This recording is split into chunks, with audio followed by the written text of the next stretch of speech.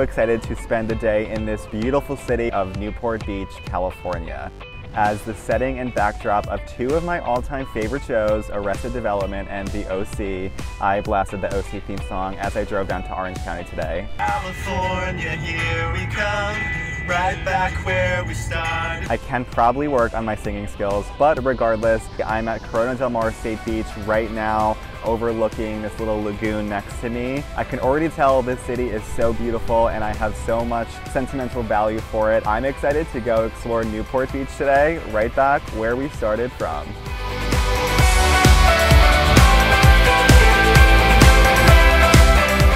Okay, so just walking here, I feel like Newport Beach is the stereotypical version of Southern California. It feels like everyone just lives at the beach. You got fire pits, you have volleyball courts, and beautiful views. Jesus.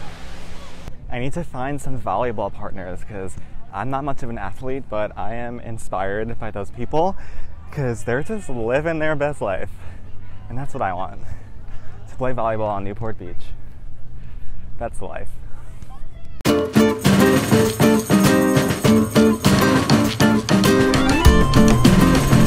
Alright, I'm excited to go to one of the main attractions today, Balboa Island, because I'm craving a frozen banana and I hear the Bluth family has a really great stand there.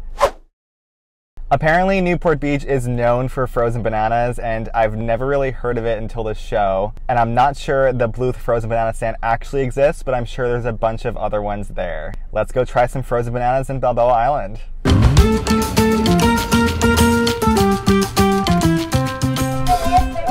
Hi. Can I get a frozen banana? I will do chocolate sprinkles and peanuts. Thank you. Alright, just got a frozen banana with chocolate sprinkles and peanuts. Let's try it.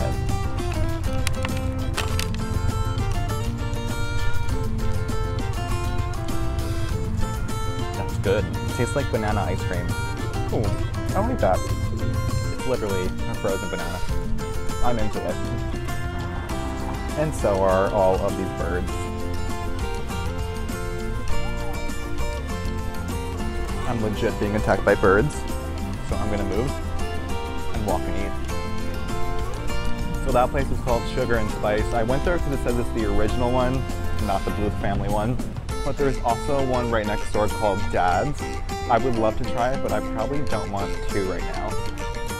Now I can say I've had a frozen banana in Balboa Island, Newport Beach. It was pretty expensive. It cost over $5 for essentially a banana. But in the words of Lucille Bluth, I mean, it's one banana, Michael. What could it cost? Ten dollars? I'm now going to take the Balboa Island ferry over to the peninsula. You can get there by car, but it is suggested to take the ferry over. It only costs about a dollar by foot. So let's go check it out.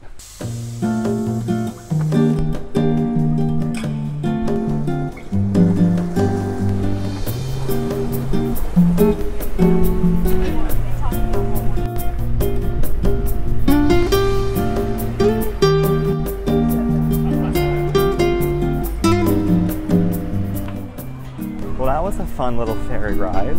Now I'm in this beautiful place called the Balboa Peninsula. New York style pizza, that's us. I'm not gonna try it. Alright, just rented a bike from Newport Beach Bike Rentals. A little expensive at $15, but I have this bike until 6 o'clock. I have the GoPro attached to me. Um, first time ever using it, so let's see how it is. I don't know if vlogging and biking is the best idea, but I'll give it a shot. Oh my god, it's so beautiful.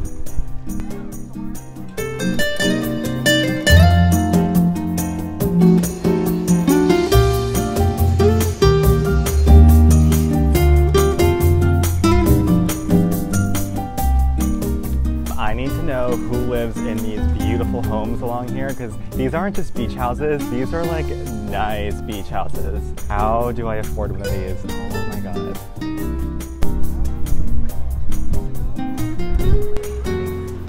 All right, as I was riding along Balboa Peninsula, I ended up at the Newport Beach Pier, which is really awesome. There's a lot of bars and restaurants and shops all along here. I'm gonna go check it out.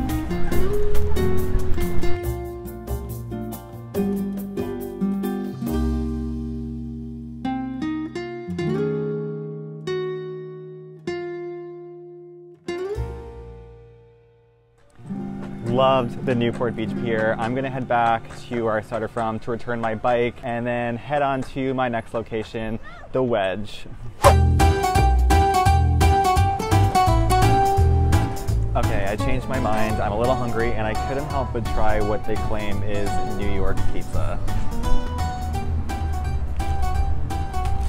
It's actually not that bad. It's just a little too doughy. And it's huge. You don't get pizzas like this in New York.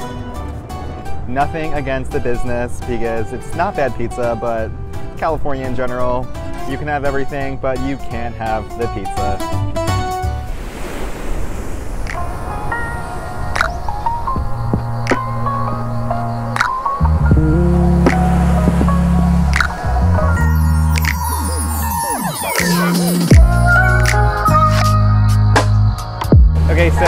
Drop my bike off by 6 and also grab a bite to eat, but I wanted to come to one of Newport's landmarks, the Wedge, to catch the sunset.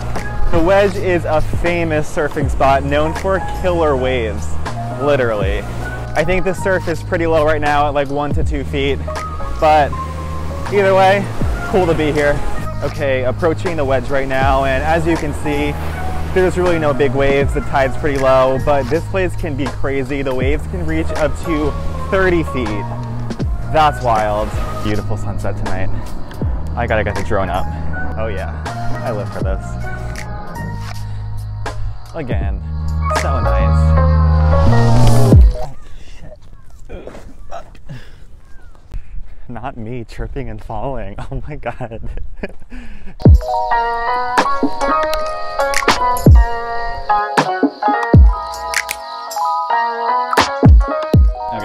just realized also, if you did watch the OC, uh, Marissa Cooper, played by Mischa Barton, would always come to sit on a lifeguard stand at night to cry because the show was very melodramatic. If I did have to cry though, this would be a good spot. Now I know why the writers did that. Crying on a lifeguard stand in Newport Beach, I mean, to be sad and privileged. And since being sad or sentimental on a lifeguard stand is apparently an aesthetic here in Newport Beach or on the OC, I just remembered something, and I'm going to make one last stop tonight. So I just drove over to Fashion Island, which is an awesome outdoor mall here in Newport. If you're here, you gotta stop by. But the reason I actually came down here is because in the summer of 2010, I was actually in Newport with my dad, and I took a photo here, posted it as my profile picture on Facebook, and captioning it, This will be my life in 10 years. Now, I was in a Mustang convertible. I do not have one of those. Gotta stay humble. But how cool is it that 10 and a half years later, I am living in California. I got a car. Just a reminder that you can do whatever the hell you want to do in life. Now, to be extra cheesy, I'm gonna quickly recreate that photo in my Toyota Corolla.